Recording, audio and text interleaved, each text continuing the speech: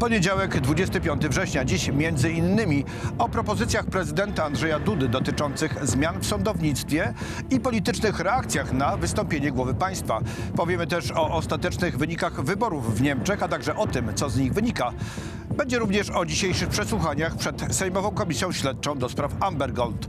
Oglądacie Państwo główne wydanie informacji Telewizji Republika. Ryszard Gromacki, witam i zapraszam. przygotowałem projekt zmiany konstytucji, który pozwoli prezydentowi Rzeczypospolitej w sposób niewątpliwy tych, tych nominacji do Krajowej Rady Sądownictwa w takiej sytuacji dokonać. Prezydent Andrzej Duda przedstawił swoje propozycje zmian w ustawie o Sądzie Najwyższym i Krajowej Radzie Sądownictwa. Następne kilka tygodni nie będą łatwe, ale CSU i CDU to partie, które biorą odpowiedzialność za nasz kraj, nasz program i za to, co jest dla nas ważne. Czy to łabędzi śpiew Angeli Merkel? Partia kanclerz wygrywa wybory, ale robi to w kiepskim stylu. Alternatywa dla Niemiec, nową siłą w Bundestagu. Kolejni świadkowie zeznawali przed Sejmową Komisją Śledczą do spraw Amber Gold.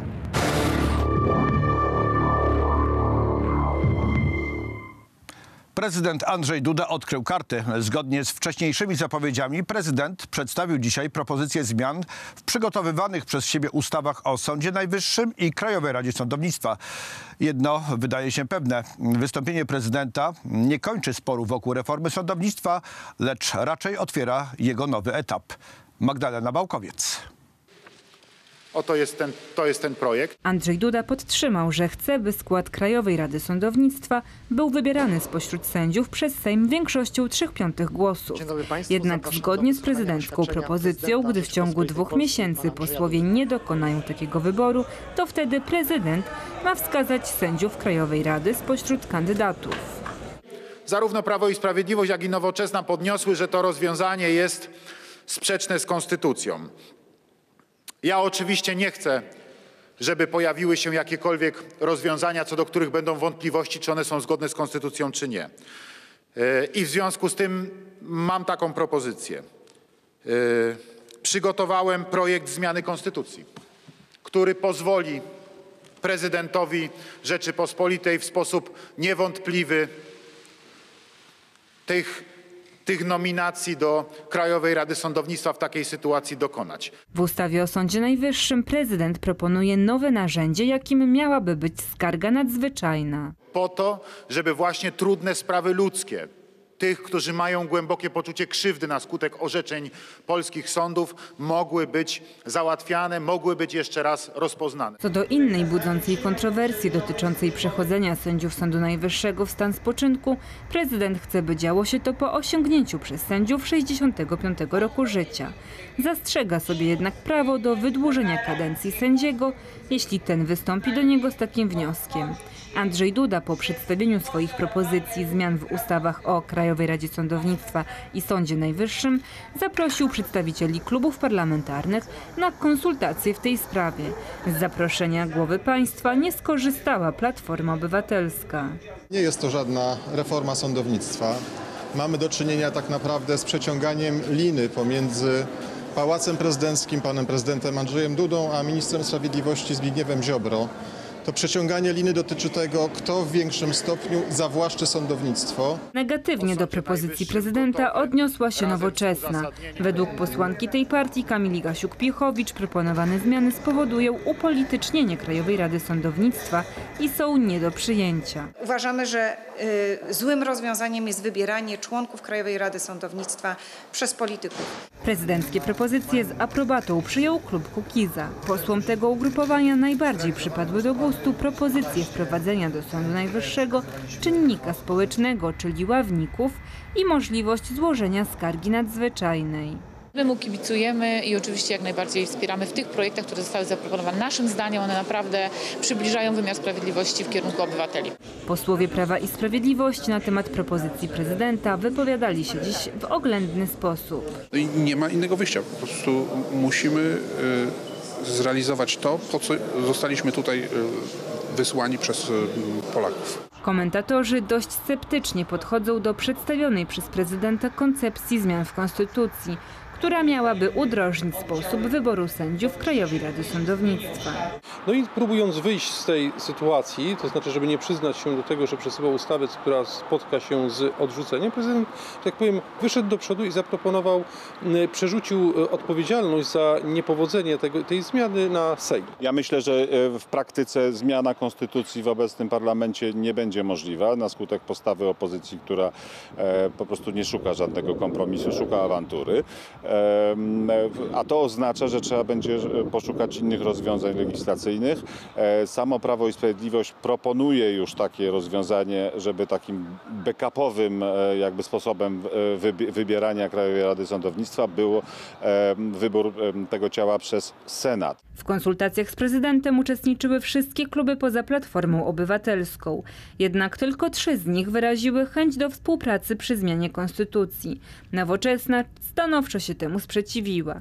Po konsultacjach z ugrupowaniami politycznymi prezydent przedstawił zmodyfikowaną propozycję dotyczącą wyboru sędziów do Krajowej Rady Sądownictwa. Trzy piąte jako zasada, jako tryb podstawowy. Trzy piąte w przypadku, gdyby nie udało się w terminie wybrać e, w ten sposób sędziów do Krajowej Rady Sądownictwa, będzie włą- włączał się drugi tryb, tryb taki, że każdy poseł ma jeden głos. I mam nadzieję, że parlament się nad tymi, nad tymi moimi propozycjami spokojnie pochyli. Oczekiwane z dużym zainteresowaniem wystąpienie prezydenta nie przyniosło przełomu w politycznym sporze wokół reformy sądownictwa. Pytanie, czy w parlamencie uda się na gruncie prezydenckich propozycji wypracować porozumienie, które umożliwi wdrożenie realnej reformy wymiaru sprawiedliwości, pozostaje otwarte. Magdalena Bałkowiec, Telewizja Republika. Przenosimy się za granicę, bliską za granicą. Partia kanclerz Angeli Merkel wygrała niedzielne wybory parlamentarne w Niemczech, dystansując socjaldemokratów Martina Schulza. Ale dwie główne partie niemieckiej sceny politycznej odnotowały historycznie słabe wyniki. Na trzecią siłę w Bundestagu wyrosła antyimigrancka alternatywa dla Niemiec, której liderzy zapowiadają w perspektywie najbliższych kilku lat konserwatywną rewolucję w Niemczech. O bilansie niemieckich wyborów Paulina Bilińska. Partia chrześcijańsko-demokratyczna CDU kanclerz Angeli Merkel wygrała wybory parlamentarne w Niemczech. Jednak wynik Chadeków był dużo gorszy od oczekiwań.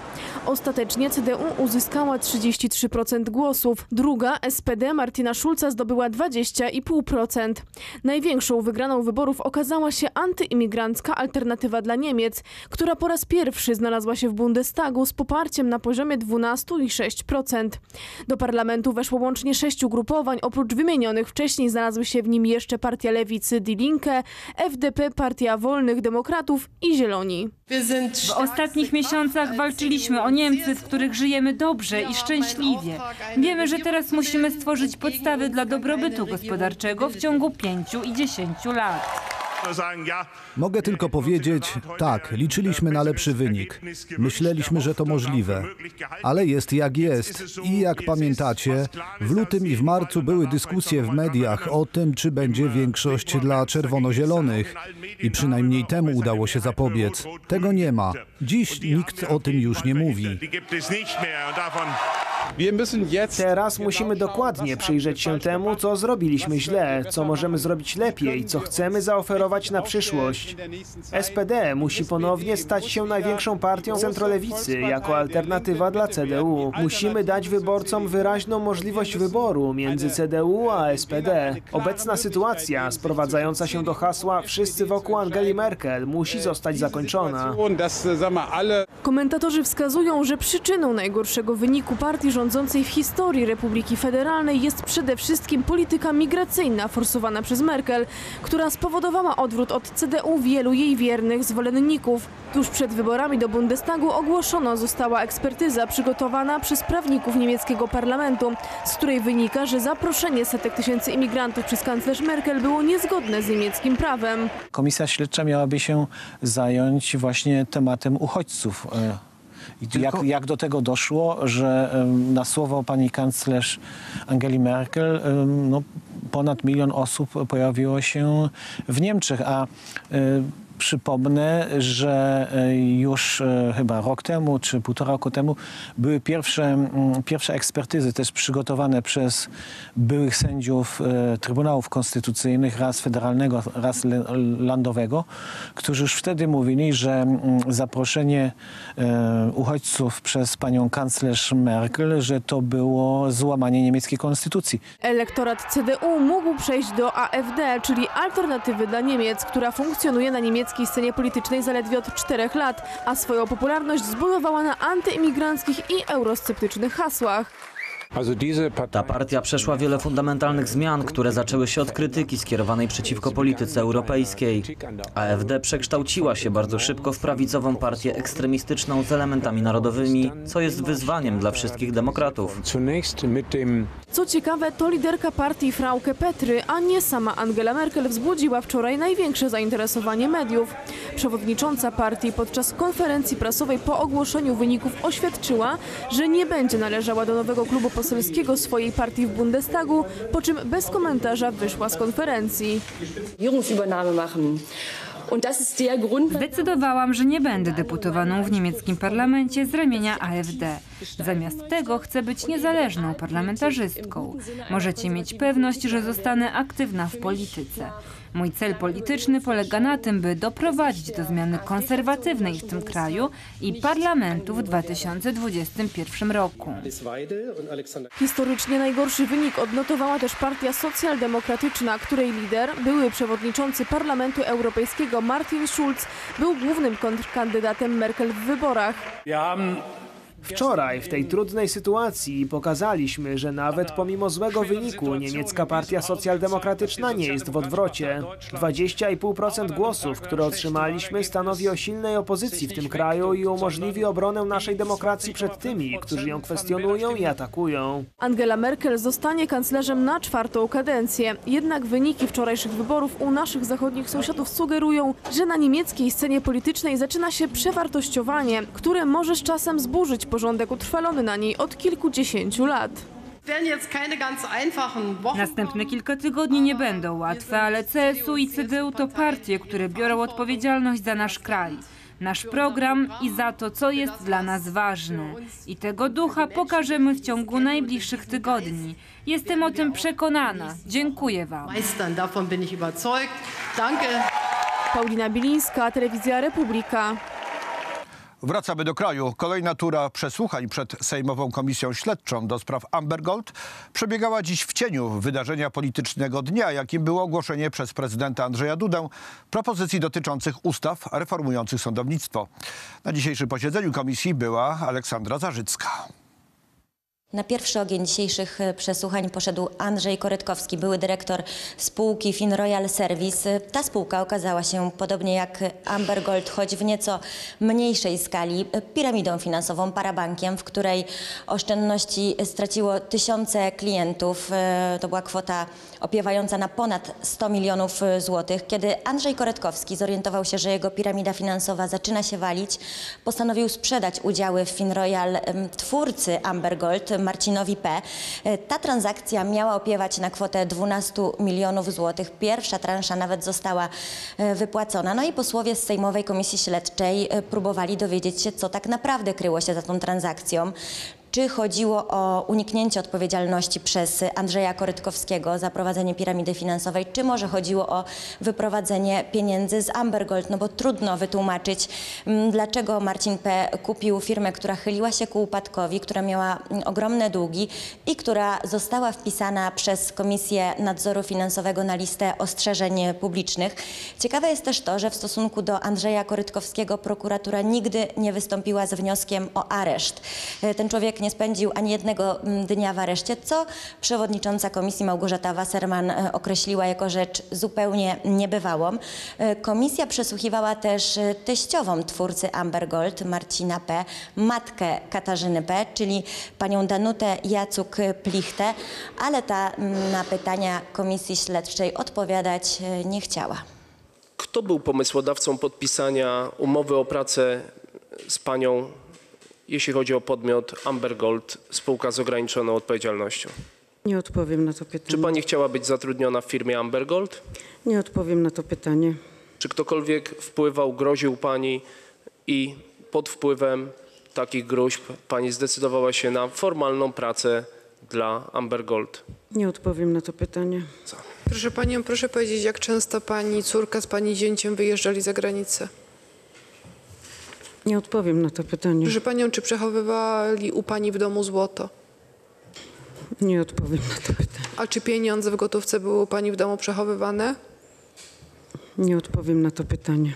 Pani Przewodnicząca, nie ukrywam, że wnioskowałem o to, żeby stanęła Pani przed y, Komisją Śledczą, ponieważ nie wzywamy tutaj Pani jako teściowej czy jako mamy Pani, pani Katarzyny P., tylko chcemy zapytać o sprawę związaną między innymi z, pana, z Pani zatrudnieniem w firmie Amber Gold. Czy potwierdza Pani, że była Pani zatrudniona w charakterze pracownika porządkowego w firmie Amber Gold? Nie odpowiem na to pytanie. Czy otrzymywała Pani uposażenie w wysokości 1540 zł brutto? Nie odpowiem na to pytanie. A czy ktokolwiek, czy z kimkolwiek Pani przed dzisiejszym przesłuchaniem, przed komisją śledczą wpływał na Panią albo prosił Panią o to, żeby Pani nic nie mówiła przed komisją? Nie odpowiem na to pytanie. A czy Pani się czegoś obawia? Nie. Jeżeli chodzi o dzisiejszego świadka, to ja muszę powiedzieć, że dla mnie taktyka procesowa mało zrozumiała, bowiem z artykułu 182 kodeksu postępowania karnego wynika, iż świadek, będąc osobą bliską dla osób podejrzanych, ma prawo do odmowy składania zeznań. Jak Państwo wiecie, komisja liczyła się z tym, że z tego prawa świadek skorzysta, tym bardziej, że chętnie korzystał do tej pory w prokuraturze. Komisja oczywiście coś takiego by uszanowała i to jest jasne. Natomiast jeżeli świadek decyduje się już składać zeznania, to w tym momencie nie tylko już odpowiada z 233, ale też musi y, jakby składać te zeznania z wyjątkiem odpowiedzi na te pytania, które mogą go narazić na odpowiedzialność karną. I teraz jakie jest wrażenie? No świadek nie bardzo wiedział, które pytanie może zaszkodzić im, a które nie. Tylko pytanie, po co w takim razie podjął te, to składanie zeznań. Komisja będzie w czwartek się zastanawiała nad złożeniem wniosku o ukaranie świadka za odmowę y, składania zeznań.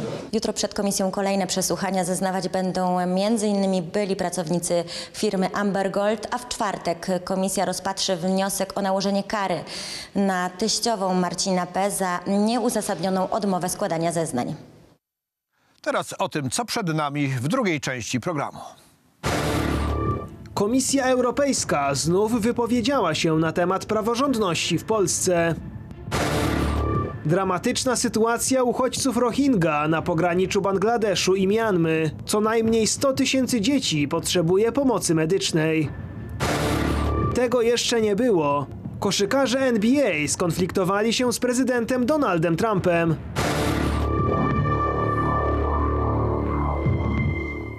Franz Timmermans nie daje o sobie zapomnieć. Wiceszef Komisji Europejskiej zaapelował dziś do polskiego rządu o dialog w sprawie reformy sądownictwa. Ale sądząc po opiniach zebranych w Sejmie przez Bartłomieja Janickiego, wezwania Timmermansa robią już tylko wrażenie na przedstawicielach totalnej opozycji. Timmermans podczas spotkania unijnych ministrów do spraw zagranicznych w Brukseli w dość oględny jak na swoje standardy sposób zaapelował o dialog z polskim rządem w sprawie reform sądownictwa w naszym kraju. Mam nadzieję, że będę mógł zaprosić ministrów Ziobrę i Waszczykowskiego lub pojechać do Warszawy, by ten dialog prowadzić. Przestudiujemy dokładnie propozycje przedstawione dziś przez prezydenta Dudę. Po zanalizowaniu przedstawimy nasze komentarze. Timmermans wcześniej wielokrotnie ostro krytykował zmiany w wymiarze sprawiedliwości w Polsce, twierdząc, że stanowią one zagrożenie dla praworządności. Głośno mówił też o możliwości nałożenia sankcji na nasz kraj. W dużym europejskim kraju, jakim jest Polska, jednym z największych, w momencie, kiedy jest zagrożenie praworządności, to naprawdę jest bardzo poważny problem dla całej Unii Europejskiej. I my teraz stajemy się takim problemem w momencie, kiedy nie szanujemy praworządności, a w szczególności niezależności władzy sądowniczej. Konsekwentne naruszanie standardów praworządności może skutkować no, wykluczeniem e, z Rady Europejskiej czy pozbawieniem prawa głosu. Pamiętajmy o jednej rzeczy podstawowej, której często zapominamy, że polski system sądowniczy jest elementem systemu sądownictwa całej Unii Europejskiej. Z tego punktu widzenia oczywiście zupełnie czymś normalnym jest, że Komisja Europejska w sytuacjach, w których czuje, że jest zagrożona niezależność i niezawisłość władzy sądowniczej, próbuje interweniować. Według posłów ruchu Kukiza procedura ochrony praworządności wdrożona przez Komisję Europejską nie ma nic wspólnego z rzeczywistością. Chodzi tu wyłącznie o polityczną szykanę wobec rządów w Warszawie. Wszystkie dyskusje o tym, że łamana jest praworządność, koniec demokracji po prostu są, są bzdurą, są bzdurą, tematem wyssanym z palucha, który ma przykryć e, niekompetencje i bezwład e, elit brukselskich wobec realnych problemów Unii Europejskiej. I to jest klucz problemu. Wiceprzewodniczący Parlamentu Europejskiego Ryszard Czarnecki, który z bliska obserwuje poczynania pana Timmermansa, tłumaczy, dlaczego wiceszef Komisji Europejskiej tak bardzo interesuje się sprawami Polski. Przewodniczący Timmermans e, e, tak naprawdę e, bardzo niewiele wie o sytuacji w Polsce, bo z tego co mówi, to widać, że on tych dokumentów w ogóle, które polski rząd przesyła, nie czyta, że on nie jest na bieżąco, że on myśli pewnymi wyobrażeniami. No ale jest człowiekiem roku Gazety Wyborczej, e, ten tytuł zobowiązuje, e, jemu nie jest wszystko jedno, no i właśnie to pokazuje. Jest bardzo zaangażowany ideologicznie i politycznie. Ryszard Czarnecki bagatelizuje wystąpienie komisarza Timmermansa i znaczenie całej procedury rzekomego zagrożenia praworządności w Polsce z powodu braku podstaw prawnych. Pogadali, pogadali i poszli. Kropka. Bartłomiej Janicki, Telewizja Republika. Teraz gospodarka. Wytwórnia poliamidów 2. Taką oficjalną nazwę nosi instalacja produkująca jedno z najszerzej stosowanych tworzyw konstrukcyjnych świata, poliamid 6. Dziś w zakładach Grupy Azoty Tarnowie otwarcia instalacji dokonali premier Beata Szydło oraz Wojciech Wardacki, prezes zarządu Grupy Azoty. Dla polskiego rządu rozwój gospodarczy jest priorytetem. Chcemy, żeby Polska rozwijała się coraz szybciej, żeby nasze ambitne cele gospodarcze przyczyniały się do tego, by każda polska rodzina miała perspektywę lepszego życia. Taki jest nasz cel i tak to zrealizowaliśmy w planie odpowiedzialnego rozwoju i to się sprawdza. Dzisiaj chcemy, żeby Polska stawała się państwem, w którym jest produkcja, w którym rozwija się przemysł. Mówimy o repolonizacji polskiej gospodarki, mówimy o reindustrializacji. To wszystko dzieje się na naszych oczach. Chcemy, żeby młode pokolenie Polaków miało szansę właśnie dzięki temu rozwojowi realizować swoje ambicje tutaj, u nas w Polsce, żeby polskie rodziny mogły żyć e, spokojnie, bezpiecznie i przede wszystkim, żeby e, ich poziom życia był bardzo wysoki. To są cele, które sobie postawiliśmy na początku pracy rządu i konsekwentnie je realizujemy. Dzisiaj mam satysfakcję, że e, mogę mówić również o tym ambitnym rozwoju gospodarczym tutaj na ziemi tarnowskiej, w Małopolsce, bo i dla Tarnowa, i dla Małopolski jest to ważny i wielki dzień. Ale jest to wielki dzień dla polskiej gospodarki. Bardzo serdecznie gratuluję wszystkim, którzy dołożyli się do tego, by ta instalacja mogła dzisiaj zafunkcjonować. Gratuluję Państwu Waszej konsekwencji, wytrwałości i życzę, by kolejne inwestycje w Grupie Azoty, kolejne śmiałe i ambitne zadania były realizowane z takim rozmachem i z taką konsekwencją jak do tej pory. Wracamy do wiadomości ze świata. Dramatyczna sytuacja panuje na pograniczu Bangladeszu i Mianmy. Koczują tam setki tysięcy, tysiące uchodźców z muzułmańskiego ludu Rohingya, uciekającego z Mianmy przed prześladowaniami ze strony armii. Najbardziej tragiczna jest sytuacja dziesiątek tysięcy dzieci. Międzynarodowe organizacje starające się nieść pomoc na tym terenie oceniają, że od 70 do nawet 100 tysięcy dzieci potrzebuje pilnej pomocy medycznej. Powszechne jest niedożywienie, uchodźcy przebywają w prowizorycznych obozach, w których panują fatalne warunki sanitarne i szerzą się choroby. Kryzys w Mianmie nasilił się miesiąc temu po wybuchu nowej fali walk między partyzantami Rohingya a siłami rządowymi.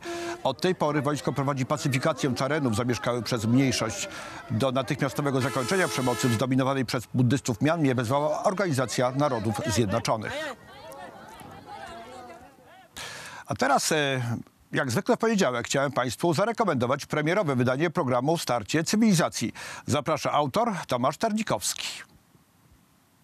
Czy śmierć mózgu to rzeczywiście śmierć? Czy osoby, którym bije serce, krąży po nich krew i które są zintegrowane jako organizmy, są rzeczywiście martwe?